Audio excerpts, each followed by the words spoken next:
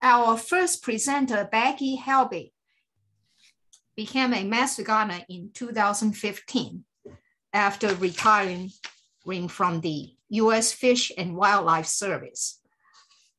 She volunteered with the Plot Against Hunger gardening program and gave weekly garden talks at the Arlington Central Library.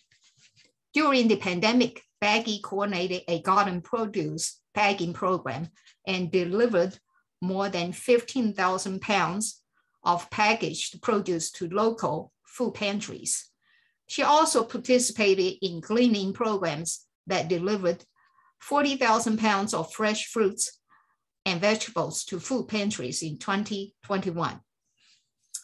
Other than being an extension master gardener, she is also a master naturalist and a distinguished Toastmaster with Toastmasters International.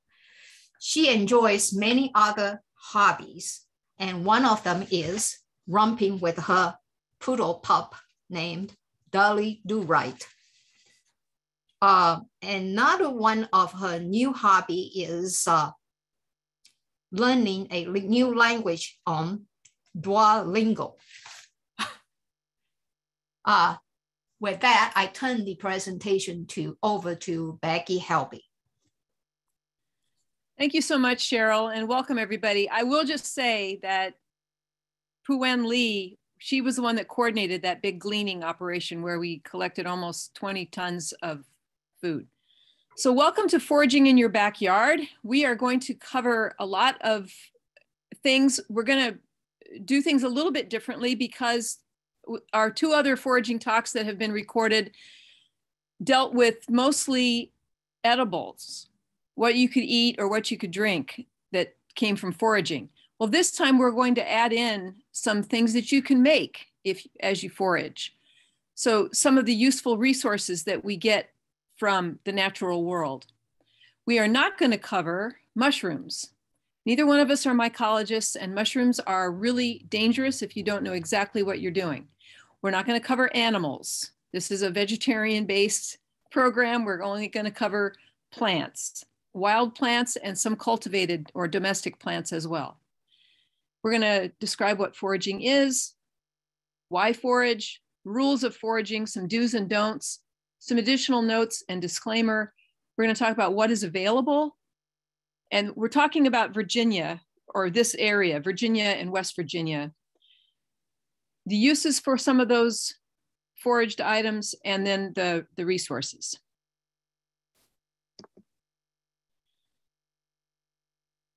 In this presentation, we're going to describe foraging as hunting and gathering edible and useful wild or cultivated plants. And as the title suggests, the best foraging may be in your own yard because you know how you care for that yard or if you live in an apartment, you can find out how they treat that area and find out if there's been pesticides used, if it's a heavy dog use area. I mean, dog use area, you can still wash things off carefully, but pesticides, that, that would be a bigger concern for me. So then that begs the question, what is edible? Because if you get down to it, almost everything is edible once. We want to talk about things that are edible, as in fit to be eaten, things that are not only tasty, but also good for you. When we talk about foraging, foraging can add a lot of nutrition to your diet. And we'll talk about that as we go along. So, why forage? It gives you an enhanced connection to nature. It's a great thing to do with with a family. If you've got young kids or grandkids or neighbor kids introduce them to to foraging and get that connection to nature going early on. In some cases it's it's necessary. If you're on a long hike and you run out of your snacks if you see a, a pine tree you can snip off a few or pull off a few needles and chew on those just make sure that you know which trees are edible. Most are, but the, like the yew, Y-E-U, that is toxic. Do not eat yew. If you're if you don't know or if you're really questioning it, go for things that have longer needles. Like the, the white pine has really nice long needles. And I have been eating some and they're actually kind of tasty. They have kind of a nice citrusy bite to them. And in some cases, I mean, I hope this never happens to you or any of us, but it might be necessary for survival. So if you know a little bit about foraging, it might help save your life. As I mentioned, the nutrition and valuable resources, when human beings switched from, or many of them switched from the hunter gatherer to the agrarian, the farming lifestyle, they lost a lot of their nutritional balance. They, they, their health declined. This is the early farmers, their health declined. For one thing, they were only cultivating certain plants, whereas the hunters and gatherers, they might be getting 75 different fruits, nuts, berries, plants, leaves, all kinds of things in their daily diet. With the farmers, they were, it was mostly cereals and grains. That turns to sugar. They had a lot more tooth decay than the hunter and gatherer societies did and do. And they weren't getting the, the nutrition. Foraged plants, wild plants especially, they're still out in nature fighting among other plants to survive. So they have a lot of chemicals and phytonutrients that allow them to, to survive, allow them to fight off these other plants that want to compete with them. When we cultivate plants like growing tomatoes, lettuce, things like that in our garden, we pamper those little babies, don't we? We weed around them, we water them, we feed them. So those natural defenses that the wild plants had, those have been bred out of our cultivated plants for the most part. So the forage plants, if they are ones that are fit to be eaten for humans, they're likely to be much more nutritious than the lettuces and things like that. So think about like chickweed it's going to have a lot more nutrition than Bibb lettuce that you've grown in your garden. I'm, I'm a gardener too, and I do grow lettuce, but just bear that in mind. The availability in Virginia, we have so much diversity of, of plants. So foraging is really great in this area. There's some important rules of foraging. We want to honor the law put that right at the top. Make sure that where you're foraging is legal. Don't go in someone's yard unless you get permission. Don't go into a, a public park unless you know that you're allowed to, to forage. And I'm talking about if you have to dig for things. If you're just picking a few berries or something, I'm not saying do it, but you're likely not to have any problem with it. So make sure you know where you are. National parks, I know they're, they're sticklers about this. I used to work for Fish and Wildlife, National Wildlife Refuges. I don't know any that would allow foraging, but if you got permission, then maybe you could do it. So honor the plant. What we mean by that is if you are picking berries somewhere, don't just break the branches or you know break them off so you can get to the berries bend them down gently or bring a step ladder or whatever you need to get to them. Don't tear the plant apart trying to get to what you want. And if it's, there's a rule of 30%. If it's a plant where you take things off of it, try not to take more than 30%. If it's a plant, if you see a, a whole spread of plants, try not to take more than 30% of what you see. We're losing a lot of the really popular foraged plants, such as ramps, which is in the onion family. There used to be ramp, well, there still are ramp festivals in different places, but it's hard to find ramps out in nature because so many people know how good they are and they scarf them all up rather than following the rule of 30%. Honor the land. If you do have to dig or if you're out on a foraging expedition, don't litter pick things up. If you dig something, then put the dirt back, pack it in. Try to leave the place better than you found it. And also, as far as honoring land, make sure you know where you're foraging, that you're not near somewhere where there's lead paint, because that can leach into the ground and affect the plants around it. It's best to know a little bit of the history of where you're foraging. That's why I like to forage on my own property because I know I don't use any pesticides or chemicals and I know it's safe to eat. And honor yourself. Just try things that you know are edible, but just try a little bit because we all have different allergies. We all will react to food differently. And we don't want anybody to get sick or have a bad experience with foraging. Here's some of the do's and don'ts. You can read all of these. I'm just going to point out a few. Please don't ever ingest anything that you're not 100% certain is safe to eat. That's really important. There's some lookalikes. Puwen and I were just talking about two lookalikes that we both have in our yard. And thankfully, both of them, this is henbit and purple dead nettle, they look alike. And the good news is, is that they're both edible. So even if you don't know this is henbit or this is purple dead nettle, as long as you know it's one of the two, it's good to eat. And like I say, be careful that you know where you're foraging. You don't want a bunch of car oil or gas or other chemicals on what you're going to eat. And then, of course, when in doubt, leave it out. If you're not 100% sure, don't try it. We'd love for you to enjoy this presentation with a grain of salt. Neither Puwen or I are doctors or health experts, and we don't pretend to be. Please use your common sense, try small amounts first, and remember that natural doesn't mean edible. People think, oh, native plants, they're wonderful, but they're not all edible.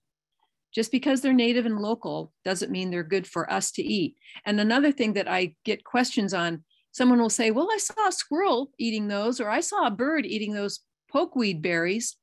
Well, the pokeweed berries are fine for birds, but they're not good for us. So just make sure that you're not eating something just because you saw another animal eating it.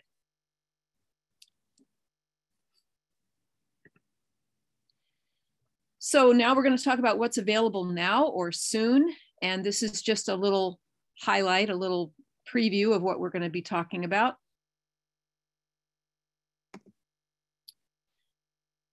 The first one is the Jerusalem artichoke or Helianthus tuberosus.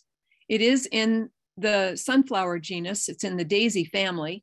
This is a North American native plant with yellow flowers. It has come to the East Coast, but it originated in more the central part of the United States. It has other names like sunchoke and sunroot and topinambur, which is more a popular name in Europe for this plant. The Europeans found this here in the United States and they took it back over. It's very popular in some parts of Europe. It's not so well known here. A few years ago, some restaurants started advertising sunchoke salads and sauteed sunchokes, but I certainly, I'm not that I've been going to restaurants lately, but I haven't seen it that much. The common name is misleading. It has nothing to do with Jerusalem. It probably came from the fact that in Italy, the name for sunflower is girasole. I don't know if I'm saying that right, but girasole, Jerusalem, okay. And some people think that the tuber tastes a little bit like artichoke. It to me, it's it's a little not really spicy. It's just got an interesting earthy flavor, and it's it's like a water chestnut in consistency. It's got a little crispness to it, and you can eat it raw, as well as pickled, sautéed, steamed, or roasted. And here at the bottom, you can see that in Europe, they make a wine, a beer, and a brandy, all with this this sunchoke. It's even used. It can be used to make ethanol for our cars. So there you go.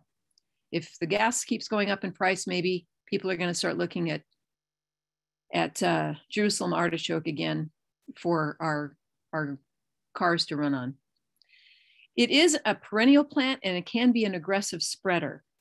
The Native Americans cultivated this, and that's how it spread to the east and the west. And it contains inulin, not insulin, it's inulin.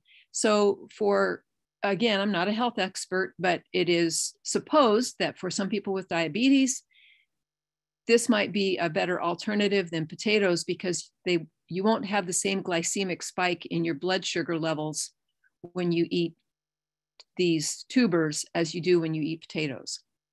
But I will warn you, this is where you where I say just try a little bit first. It's also known as the fartichoke. You want to dig up the tubers after the frost and even refrigerate them to keep them cold. I made the mistake of harvesting some, I must have been in the fall and before it got cold and before the frost. And oh my gosh, I had the worst case of gas ever. It was really not good. So just again, bear that in mind. Try a little bit first. They are delicious. They're a good source of, of potassium, iron, and other minerals. The next is the river birch, and this is going to get into our, our crafting section. River birch is also known as black birch, water birch. It's a Virginia native tree, grows 40 to 80 feet tall, and the sap can be used to make birch beer, vinegar, or it can be boiled for a sweet syrup. The wood is also useful for smaller things, prosthetic limbs. It's going to have a lot of knots in it, so it's not good as, as timber for building houses or big furniture or something. The paper bark oils oh my goodness if you're ever out camping and you can find some birch paper that will get your fire started lickety split. It's really good. It's also it's got some oil so it's kind of a waterproof paper. Thomas jefferson said that you should always carry some birch paper with you when you're out in the field if it's if it's rainy or, or humid because you could write your notes on this and they it wouldn't it would be able to be written on. It doesn't, it doesn't get wet like other paper would. The paper bark is also used in basket making. They take pretty thick sheets of it to make basket weaving. We're just talking about protecting the tree, being nice to the tree, taking just those little, these little thin papery parts to make river birch beads. Now at my church, we make beads. These are made from regular paper. We take our church bulletins and we cut them the same as here. We cut them into these long triangular strips and then roll them on a wire coat hanger. And you start at the wide end and start just roll, roll, roll, roll, roll. And then you get the little tiny tip at the end, and that's where you put your drop of glue. So these these are ones made with, with regular paper. And these are ones that I made with the birch bark paper.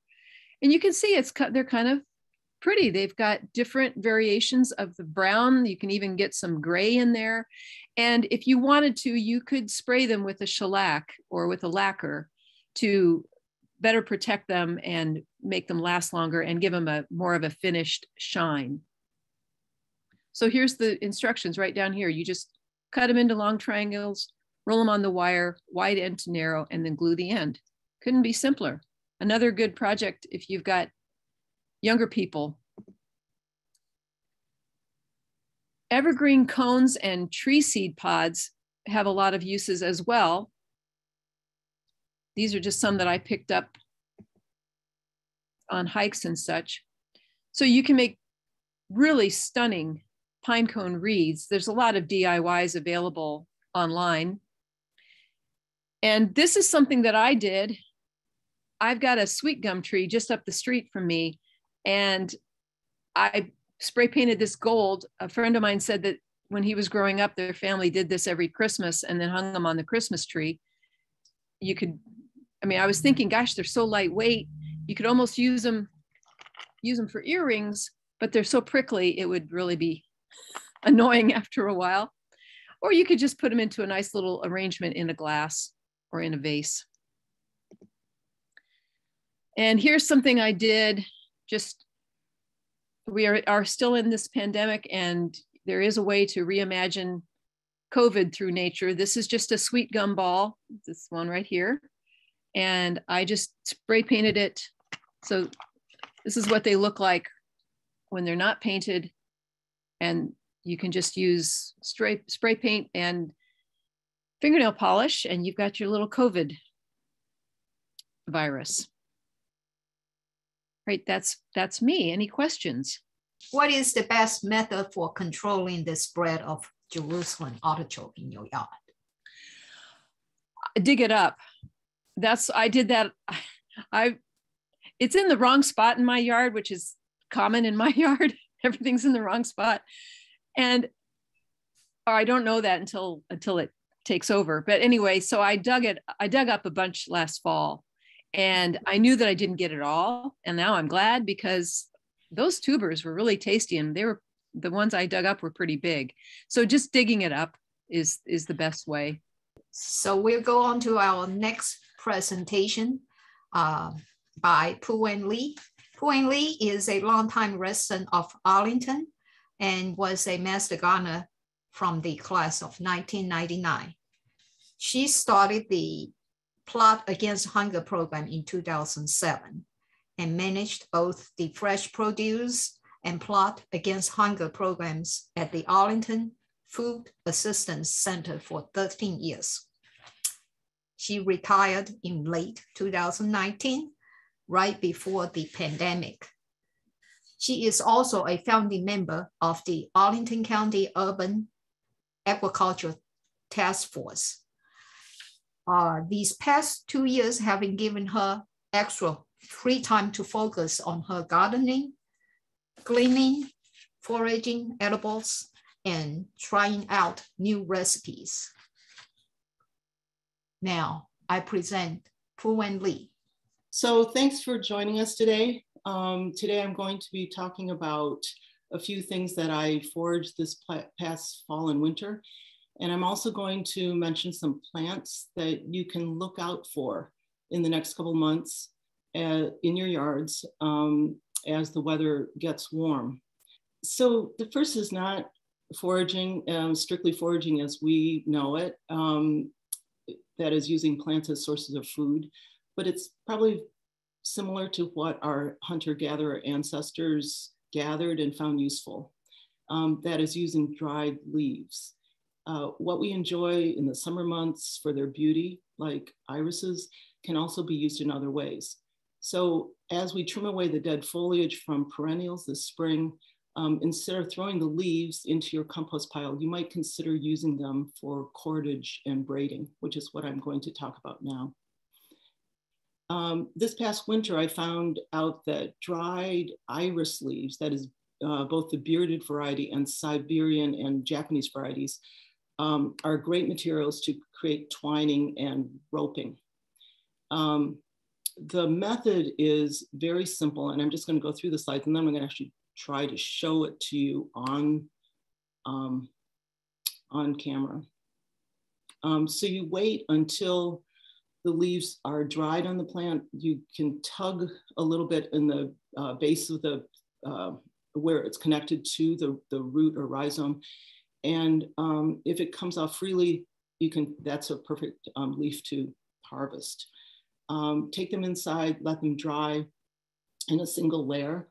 And then after about a week or two, depending on how uh, humid or dry your house is, um, and you're ready to start your project, you can wrap them in uh, a damp uh, towel overnight just to moisten them and make them more pliable.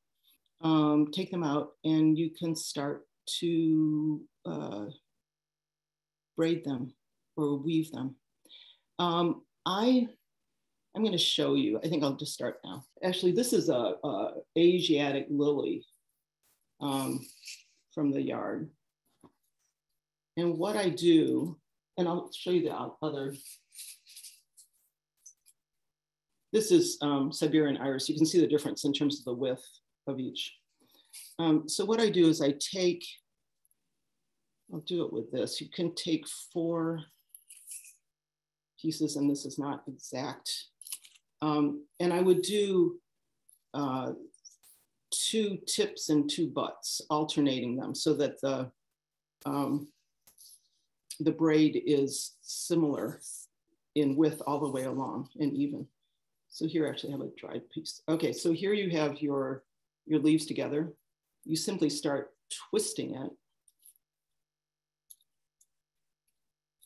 And you'll notice as you're twisting that it's starting to curve. You see that just by the, the tension that's created with the leaves. And then here you've got this little neat little curve that starts. Well, that's a nice little handle for you to hold. And then you twist your, use your dominant hand, twist the top, tuck it under, pick the next one up, tuck it under, and you're gonna continue doing this. I'll do it pretty quickly.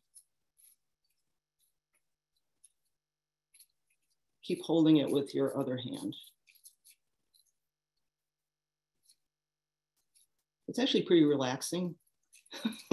so, and it's like knitting, I think, if, if one could knit. So here you have, do you see that? And so this is um, what I created. I created long lengths of, I mean, it can go on forever. Can you see this? Long lengths of cord. Um, the, the longer the um, Japanese iris and Siberian iris, I mean, you can just go on forever. I still haven't decided what to do with them. Um, I did make some friendship bracelets. Um, I gave one to my husband um, and the wonderful thing is, you know, you can throw it away, you can wear it and it will dry, um, you know, wear in the shower, it can get wet. And I was thinking, well, you know, you could actually, one thing I did um, around Christmas was I had some chilies that I was drying from the um, garden and I used, I tied them and then gave them away as presents. Um, this fall, I got a ton of black walnuts these are not pretzels. They're actually black, black, walnuts that I collected, and I still haven't had time to uh, dig the meat out of the, of the nuts. Um, black walnuts uh, have, uh, is a, are a deciduous tree. Most of us know about them. Um, they have a very pungent odor um, in the bark, the leaves, the, the nuts. Um, they're native to the United States, um, growing 100 to 130 feet in height.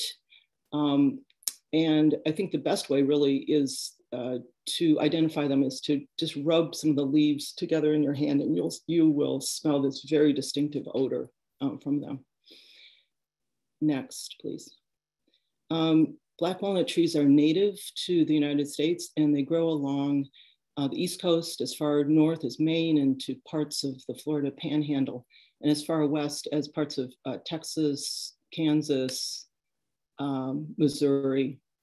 Um, they're a much maligned tree um, unless you live on a huge piece of property because uh, of their allelopathic qualities. Um, the roots and leaves contain a substance called juglone that inhibits the growth of certain other plants um, if they're grown near them. And this is a natural defense mechanism of the tree. Um, other trees like hickories also have this, but not to such an extent as the uh, black walnut. Um, vegetable gardeners often resort to, who have black walnuts often resort to building raised beds uh, to avoid the roots of the, the tree. Um, we did that at the Ball Sellers house, the, the oldest uh, standing residence uh, here in Arlington um, because there was a kitchen garden that was probably 20 feet away from a, a walnut tree. Um, and landscape gardeners um, can actually choose varieties that will tolerate, plant varieties that will tolerate the juglone and the roots. Um, and this is a you know, very wise practice that makes more sense to me than, than chopping down a tree. Um, I have in the references a uh, Penn State uh, publication um, listed that shows all the different plants, um, shrub, plants, shrubs, and trees that are tolerant to uh, walnut, tolerate uh, black walnuts. Um, black walnuts are prized for their timber. Their leaves and husks uh, have been used for natural dyes. The trees themselves um, like the paper birch, can be tapped for syrup, um, sap for syrup. And the shells um, I found in doing my research for this up top are used as abrasives for fine finishing of um, automobiles and wood furniture, and also in cosmetics as exfoliants. And who knew it, but um, as fillers in dynamite and also filtering um, products. Uh, for uh, filtering crude oil. In terms of food, um, most walnuts that we know um, and buy at the store are the so-called English Persian walnut, and 98% of the, of the walnuts that are grown in the United States are that variety. Um, they're mostly grown in the Central Valley of California. The remaining 2% are the black walnuts that I'm gonna be talking about today, which you can find growing in the wild.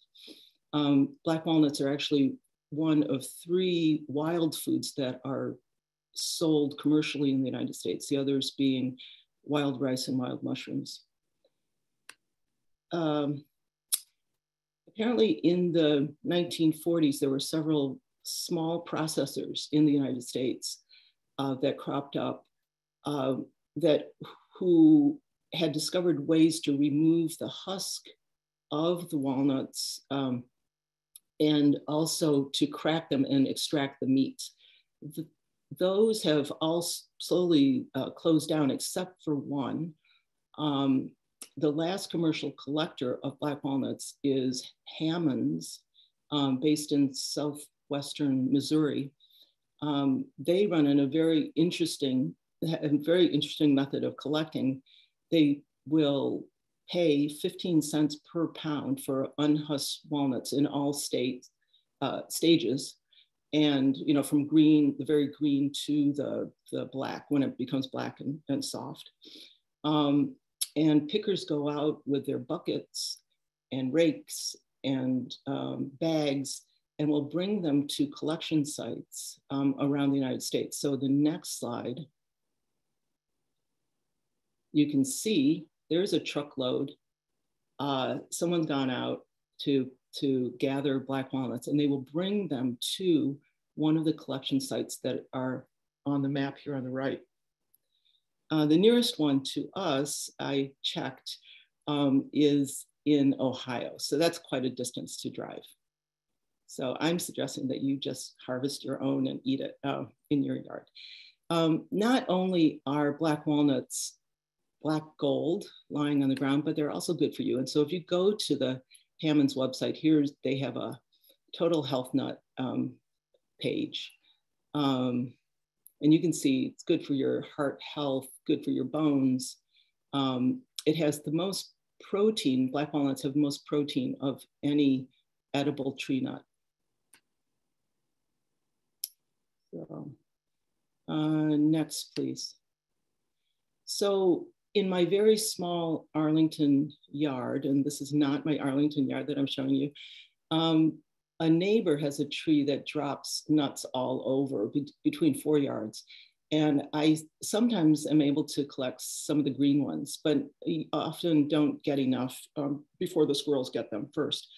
So where I find most walnuts each, each fall is at a farm that we stay at um, in West Virginia.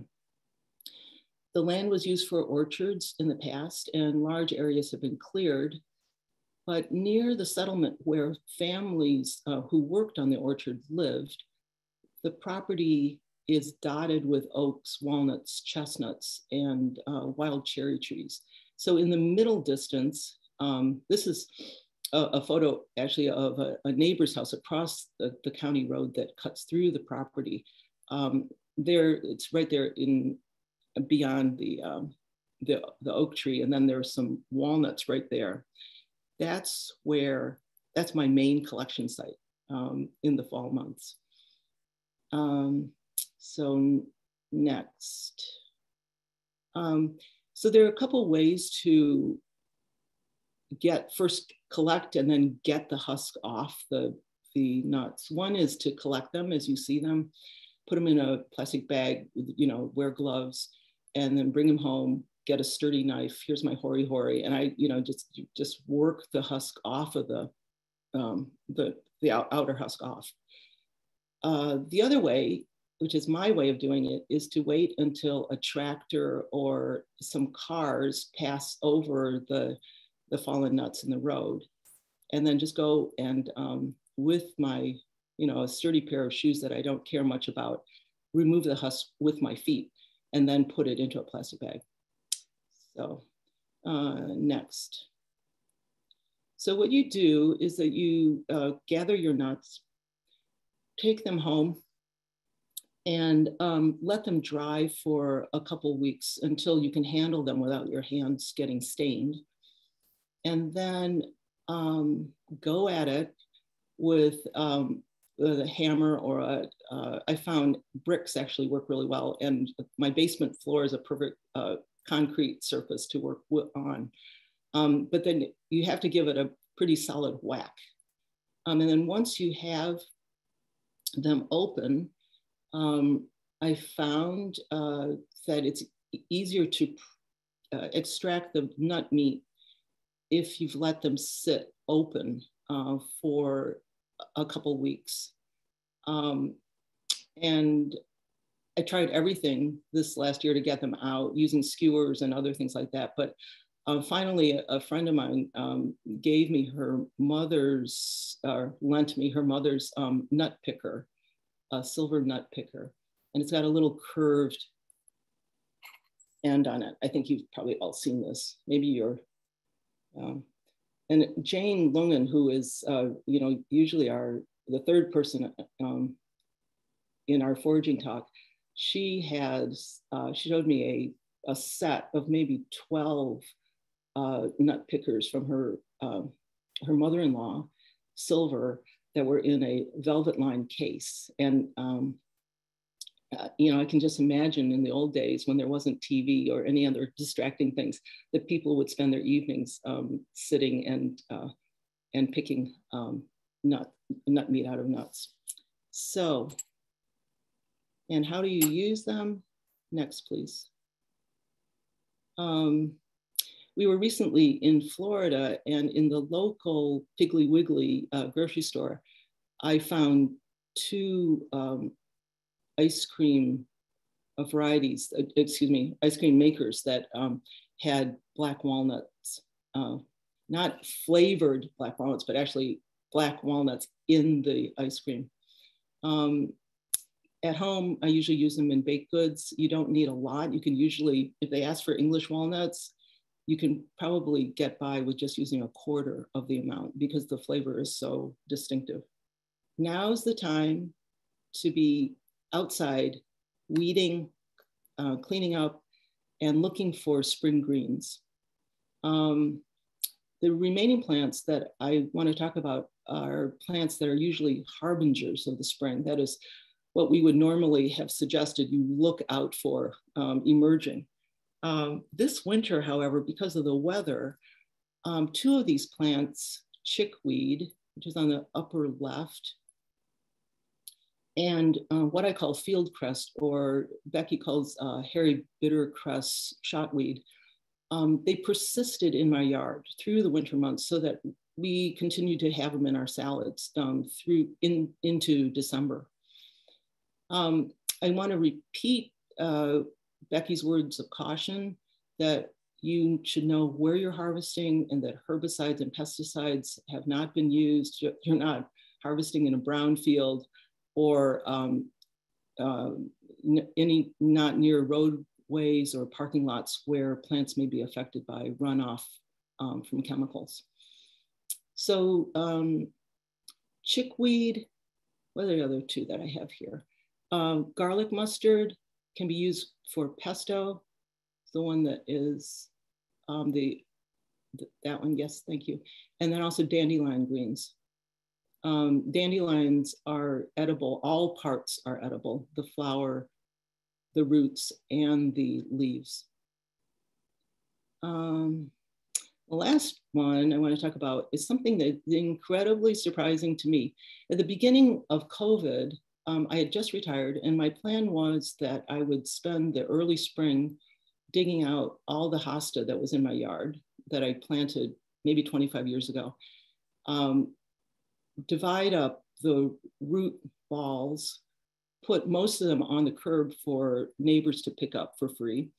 Um, and at the very same time, we were preparing for a foraging talk. And um, what I, and I thought, well, since I'm doing this, I might as well look and see whether hostas are edible. Um, and by golly, they are. Um, hostas, which are also known as plantain lily, um, originated in East Asia, in China, Japan, and they are actually foraged there in the mountains.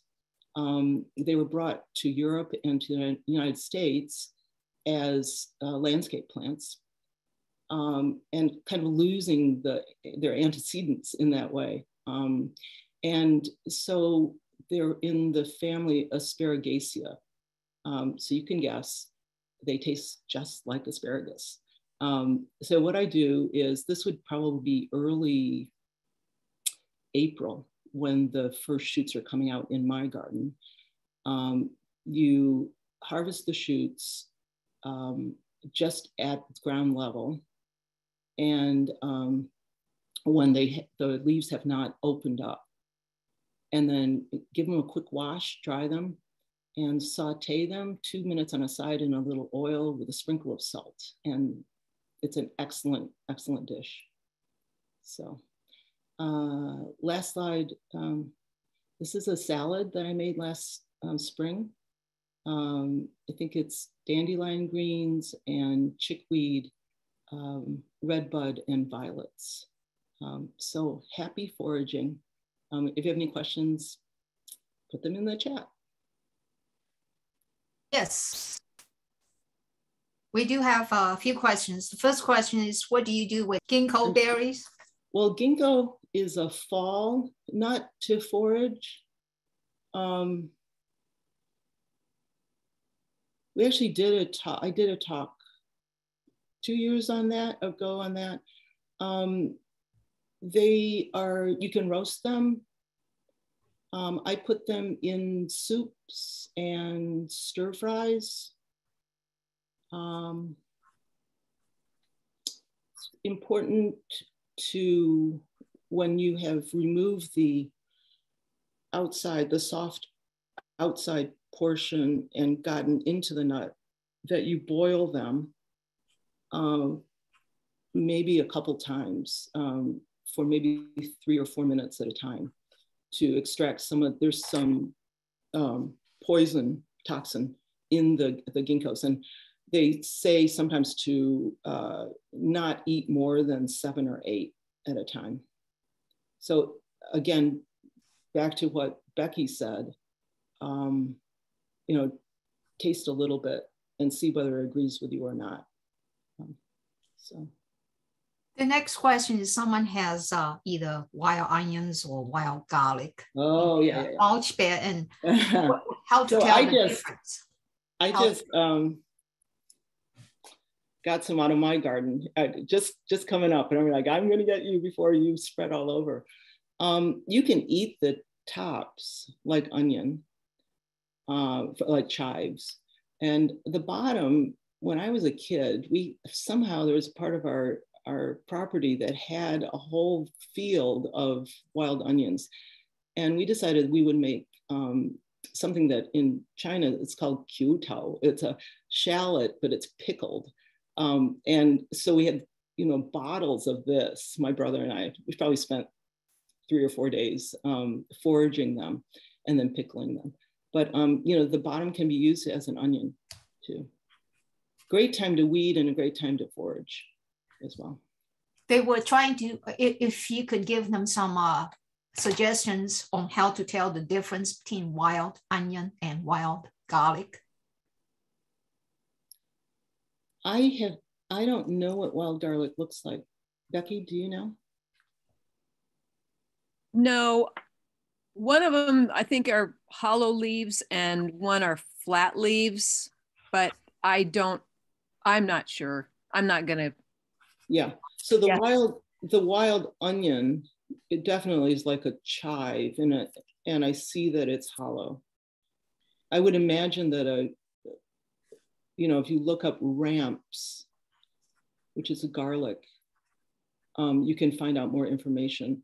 I wanted to say um, the whole notion of respecting the plant is really important. Uh, ramps, it's illegal apparently in Ontario, I believe, to, to harvest ramps now, to forage them. Because people have not, they've taken whole plants instead of taking one leaf um, from a, a, plant. They've taken the whole plant. And so those numbers have dwindled to such an extent that the government took some action. So um, anyways, that's that was an aside. Next question is someone is building a new house in the middle of woods in Virginia. Mm. And there is a lot farkleberry on the property. And they would like to know if you have a recommendation for a mix of uh, native seeds. They can provide them with uh, forageable edibles. Hmm. I think the, oh, I'm trying to think of the, um, there's a food forest in Maryland. Uh, I'll try to I'll try to get that information, um, which, you know, from the very bottom to the top, you know, um, having uh, fruits, nuts, berries uh, in that forest would be a wonderful um, opportunity. You could also do mushrooms, my God.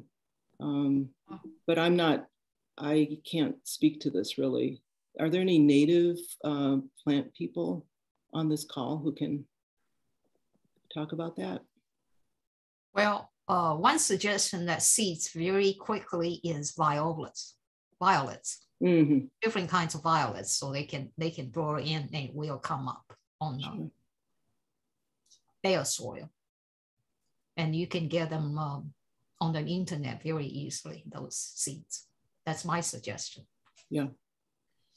Yeah, I recommend I recommend planting some native shrubs as well. High bush blueberries, they are they're doing great on my property, and you usually need two from two different cultivars or different, you know, different plants to get the best fruit. Although I have one that is pretty much by itself and it produces gangbusters year after year. So high bush blueberries, blackberries, raspberry, think berries as well if, if you've got, if you want some shrubs.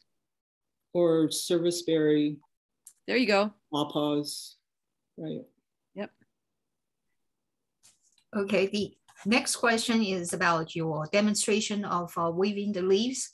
Yes. How do you add in the next leaf? And then a related question is after you finished, how do you stop from the cordage from unwinding?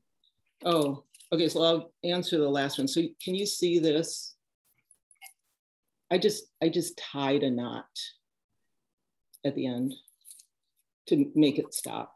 I simply start twisting it and working it in. And then use the same, the other part. And you know, if you if you choose equal lengths of uh, leaf, um, they'll pretty much end at the same time. So you won't have this, you'd have this. I'm just, sorry, it's not working the way I thought it would.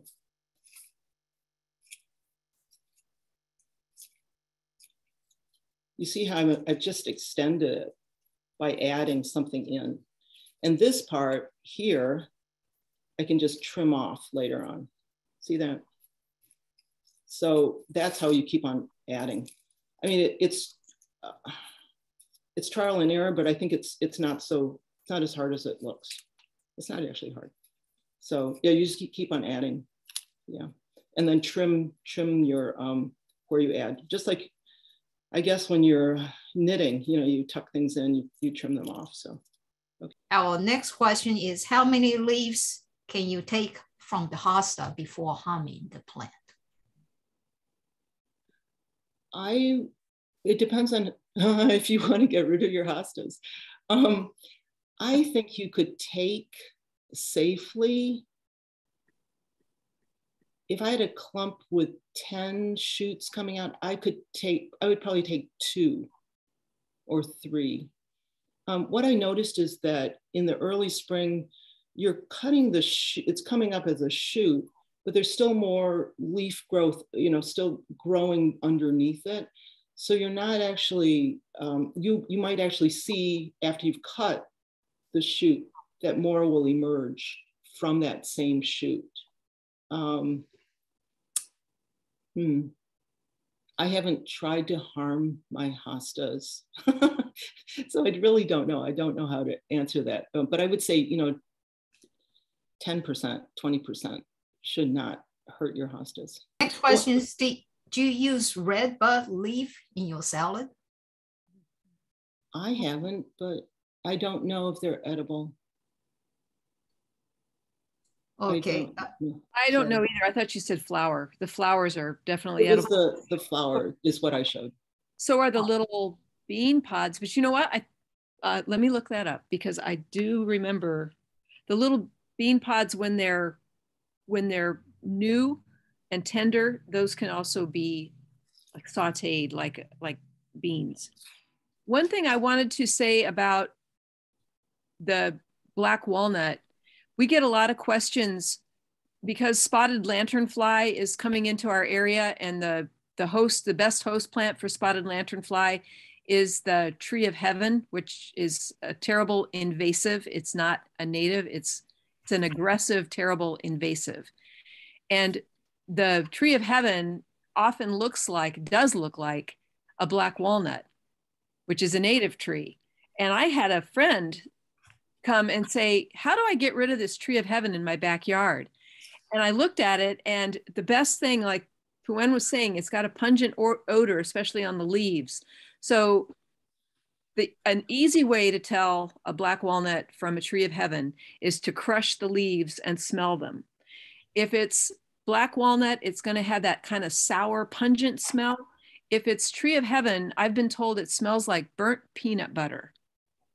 Hmm and very much more of a bitter smell, a smoky smell than the more pungent, soury black walnut. To me, black walnut is so iconic. I mean, I when I smell it, I say, "Oh yeah, that, I know what that is."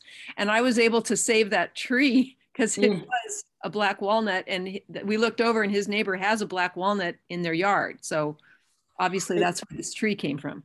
It'd be interesting to compare the so black walnut, they're all both compound leaves, but the, the number of leaves, I think walnuts are odd uh, numbered.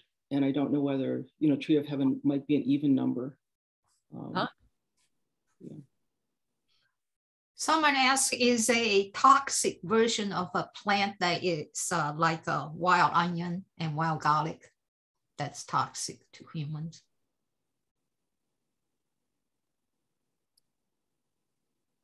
A look-alike? Yeah, something. I don't know, but I wouldn't if you're not sure what it is. If if it's if you take just the littlest tip off the green tip and taste it, it's going to taste like chive or onion, and, and those those are those are fine. There is a book that I really like. I don't like to call myself an idiot, so these idiot guides aren't my favorite, but this one is really good. This one, I found it at Central Library here in Arlington, and it's The Idiot's Guide to Foraging by Mark Vorderbruggen. And I like his book because he has the lookalikes. So for all the mm. plants that he's covering, he he he says, watch out for this one. If there's a, a, a bad actor, you know, if there's a, a bad plant that might hurt you, he says, this is what it looks like. Or he might say, you know, purple dead nettle and henbit look very much alike, but they're both edible. So no, not so much worries with those. And I did just look up red bud leaves and they can be used sparingly when they're young, either sauteed or even put raw into salad. So there you go. But the flowers and the and the bean pods are also edible. Thank you. Next question is uh, what is edible on a white pine tree? The needles. The, the, the needles really. And you just take little bits you know you don't want to you just chew on them it's sort of a nice thing to do when you're hiking.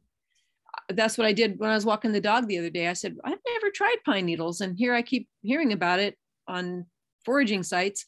And so i there's a white pine right there and i just picked some needles and i just kind of chewed on them and yeah it takes yew takes a while to get to chew them up, and uh, it's it's kind of pleasant. It's kind it's a little almost minty, but so I don't know. I don't always just know how to describe tastes, but it's it's unique and it's not bad.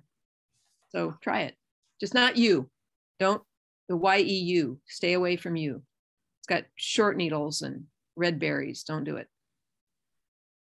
The next question is how to propagate blackberries from cuttings. And uh, is it legal to get cuttings from plants in the pots, natural pots?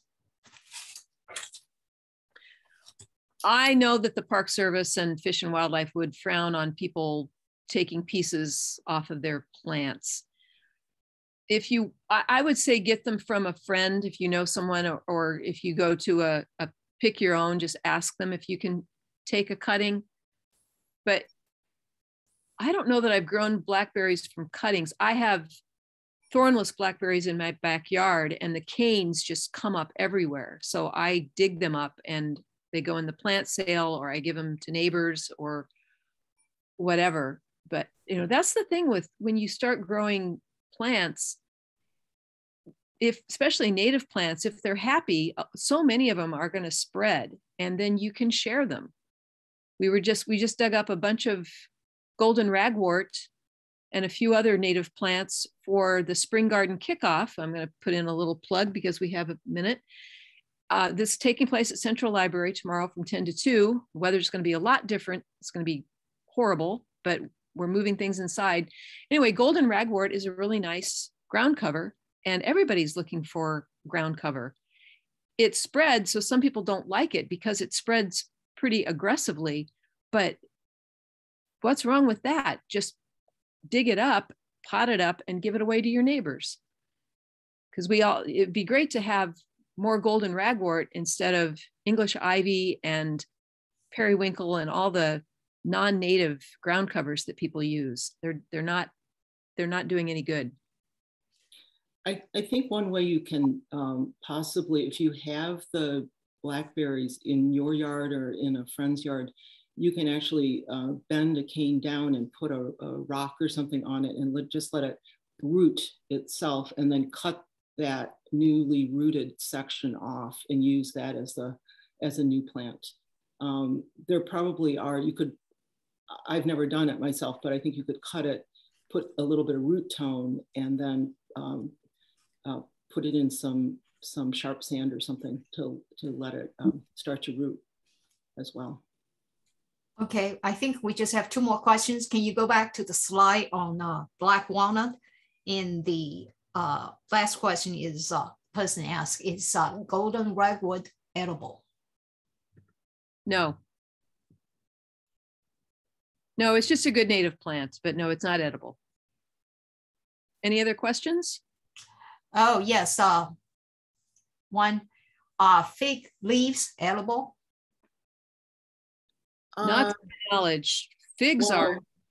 The figs, they're they're edible. I don't know how they taste because when I've actually wrapped, oh, it's a really good dish. Uh, you can wrap peaches in them and bake them in in a fig leaf. Um, I think they're edible. I mean, that you know, you won't, uh, but uh, there's a little bit of sap that comes out of the the stem, the leaf stem. Um, and I don't know, so I don't know what that would taste like in your mouth if you ate it raw, but I, you know, edible. Oh, I see. Yes, I missed one question. Uh, fig Ooh, leaves. Rice and uh, fig leaves. That sounds really good. Yes. Ah, uh, okay. Are there regular garden variety fig leaves that's edible? not sure what the because this person got some tea that's made from fig leaves, so she wants to know what's a regular garden variety.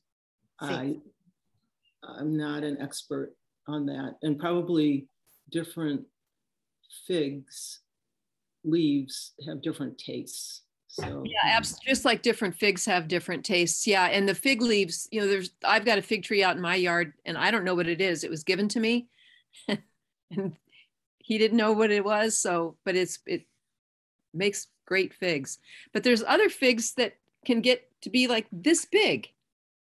There's a church near here, and oh my goodness, those figs are gorgeous. and the leaves are completely different than the leaves on my tree. They're not the, and then you've got the figs that you see indoors at different offices and stuff. They'll have these huge gangly figs, and those leaves are completely different than the fig leaves with the edible figs. So you need to know, you need to look it up and know which type of leaf.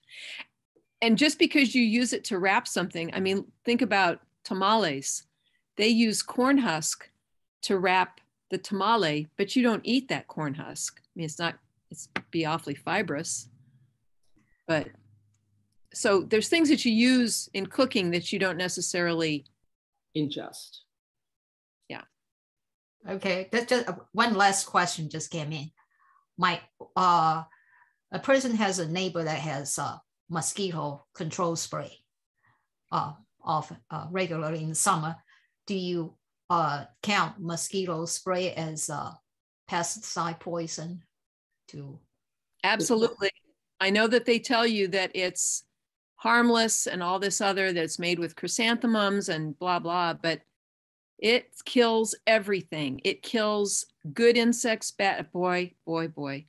I got to watch myself, but I if we could just educate those type of neighbors that they're they're after the wrong part of the insect life.